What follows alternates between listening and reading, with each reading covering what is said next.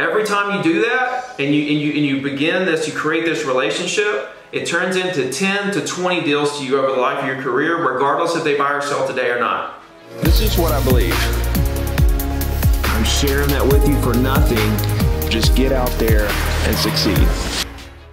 What I want to preach to you is relationships over transactions.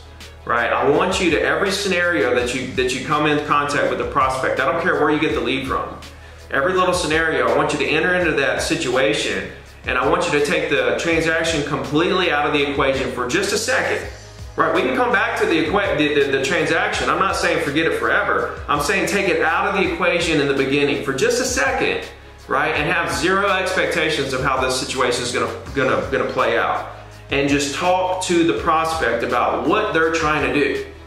And really listen to what they're trying to do and, and, and take the transaction out of the equation, whereas now you're really trying to just figure out what they're trying to do and how you can help them do it. Because when they buy or sell a piece of property, they're not buying or selling because they wake up, woke up one day and decided I'm to buy or sell a piece of property.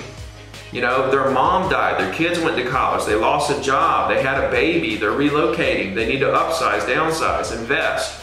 Whatever the case may be, it's not, it has nothing, it actually has very little to do with the property and more to do with something going on in their life. And when you can really tap into what's going on in their life, in every situation, it's gonna do a lot of things for you. Number one, you're gonna have these magical conversations that people now realize that you're there for them, not just to make money, right? And that's gonna open up so many doors for you. They're gonna feel such a connection to you.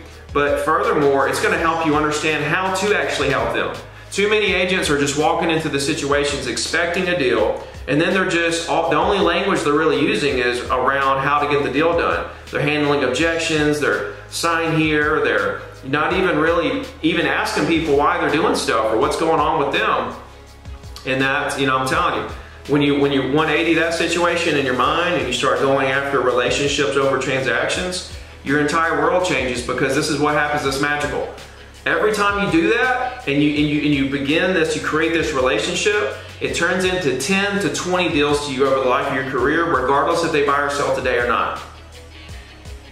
Right? If you, if you talk to a prospect, this is why I have zero expectations of a prospect actually closing a deal with me or doing a listing or whatever.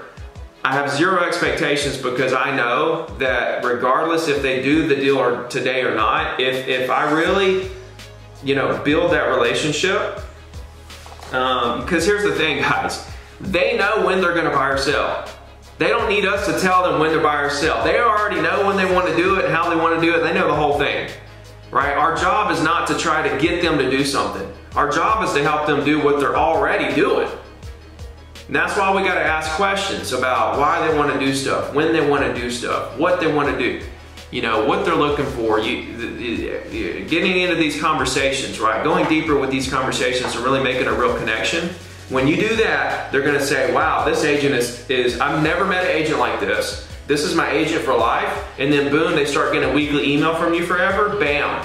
You do that across a couple thousand people in your market, you're done.